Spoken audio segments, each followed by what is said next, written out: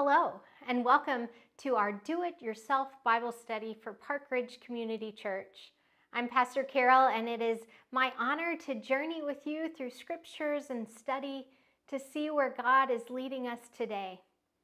Over the last couple of weeks, we've been considering what it means to choose community. Blessed be the tie that binds our hearts in Christian love. Have you thought about the sacred bond that creates community? It's really pretty extraordinary. People of all ages, from all sorts of different backgrounds, walk together on this journey of faith, sharing pieces of themselves, volunteering alongside one another, working with each other and over time, through worshiping and singing and praying and studying and making phone calls and sending cards, we realize that we're in. We are a part of this community that God has created. God has knit us together and we found support. We've been encouraged and even sometimes challenged by one another. This thing called community is remarkable and it is a gift from God. We see God's love reflected in one another. As we wrap up this season and this time of considering how community shapes us and how we shape community, I invite you to spend a moment in prayer. Would you pray with me? God of our hearts, we give you thanks for community that has brought us to this place in our lives. Thank you for shaping us.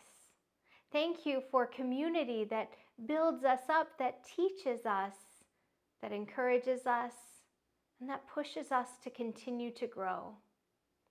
Help us to not become complacent, but to continue to strive to learn and grow. Help us to speak the truth even when it's difficult. Help us to hear the truth even when it's difficult. And in our speaking and in our listening, in our praying and in our worshiping, in our serving and in our working together, God, shape us evermore. We pray in the name of your Son, Jesus, the way, the truth, and the life. Amen. So Christ himself gave the apostles, the prophets, the evangelists, the pastors and teachers to equip his people for the work of service so that the body of Christ may be built up until we all reach unity in the faith and in the knowledge of the Son of God and become mature, attaining to the whole measure of the fullness of Christ. Then we will no longer be infants, tossed back and forth by the waves and blown here and there by every wind of teaching and by the cunning and craftiness of people in their deceitful schemings. Instead, speaking the truth in love, we will in all things grow up in Him, who is the head, that is Christ. From him, the whole body, joined and held together by every supporting ligament, grows and builds itself up in love as each part does its work. Think a little bit about the word truth. Jesus said, I am the way, the truth, and the life. What is truth exactly? When you think about finding the truth, when you've been told the truth, or when you've not been told the truth, what has that meant to you? As people of God, we are implored to speak the truth in love. Speak the truth in love. Now, I don't know about you, but sometimes I don't really want to hear the truth. If I look a certain way and it's maybe not so good, maybe I don't really want to hear that, mm, not looking so good today. Are you sick? Sometimes I don't want to hear the truth. Like your words hurt me. And yet, in the context of relationship, in the context of true community, speaking the truth, articulating our truth becomes holy work. Think about that for a minute. in the space of community, we're safe to speak our truth, to tell our stories, to share our broken hearts, and to trust that others within our community will honor our truth with active listening, love, and compassion.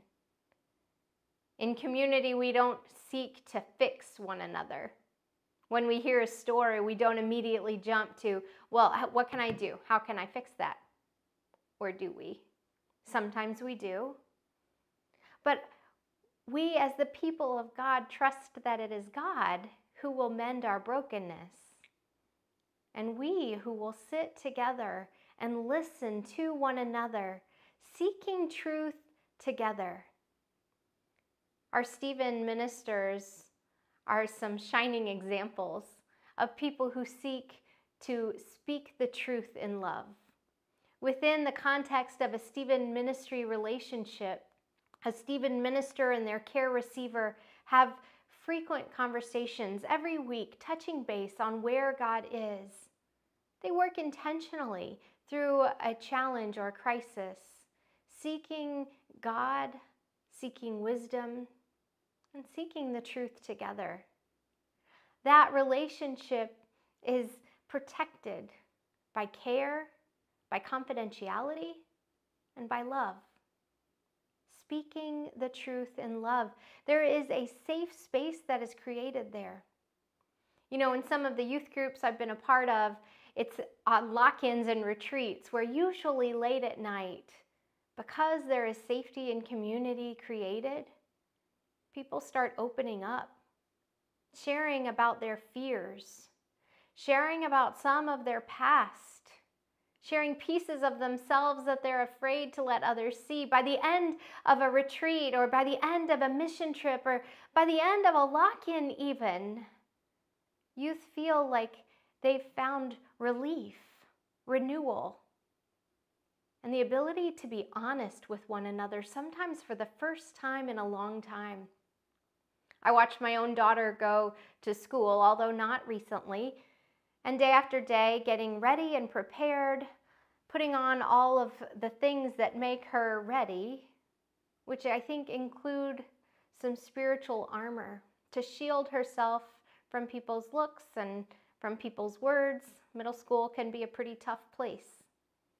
And some in some ways we've never really gotten out of our middle school mindsets. We still try and build ourselves up to, to be able to hear what other people say and look past it. When people say, How are you? we don't always tell the truth. And yet, where is the truth? When we watch the news, we can hear competing versions of the truth. We can see a single incident and hear different perspectives, and the truth may be hard to find. And yet, we are people of the truth.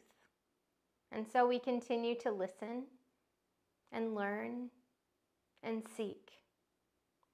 In Ephesians, our scripture says, speaking the truth in love, we must grow up in every way into Him who is the head, into Christ, from whom the whole body, joined and knit together by every ligament with which it is equipped, as each part is working properly, promotes the body's growth in building itself up in love. Our bodies are all connected, at least that's how they work the best.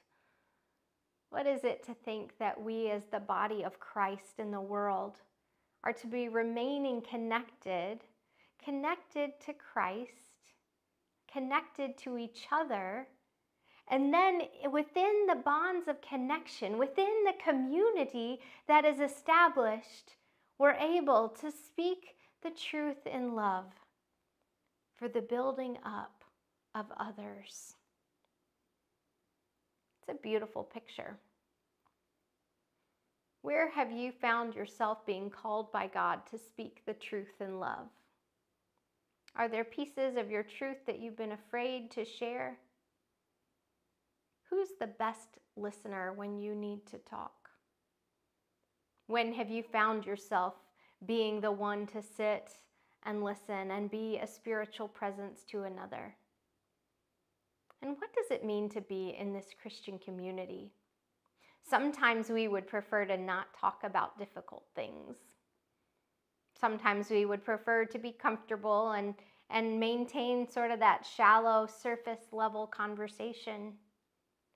And yet, God is inviting us to go deeper, not for our own self gratification, but the building up of one another, the building up of community, and the building up of the world. We live in a world that is longing for the truth, that needs to hear the truth that God loves each and every person. The truth that Jesus is the way, the truth, and the life.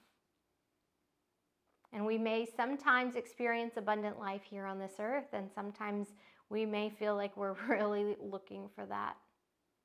And God is with us through it all. That is the truth. I pray that as we go forth, as we hear Jesus sending us out, just like those disciples, that we would be sent forth to speak the truth in love within the safety of this community and beyond for the healing of the nations. Thanks be to God. Amen. Jesus went through all the towns and villages, teaching in their synagogues, proclaiming the good news of the kingdom, and healing every disease and sickness. When he saw the crowds, he had compassion on them, because they were harassed and helpless like sheep without a shepherd. Then he said to his disciples, hmm, The harvest is plentiful, but the workers are few. Ask the Lord of the harvest, therefore, to send out workers into his harvest field. Jesus called his twelve disciples to him and gave them authority to drive out evil spirits and to heal every disease and sickness.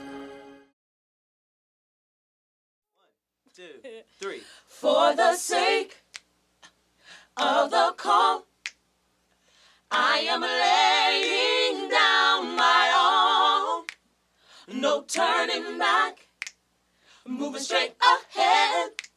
I'm on the right track, and it's all for the sake of the call.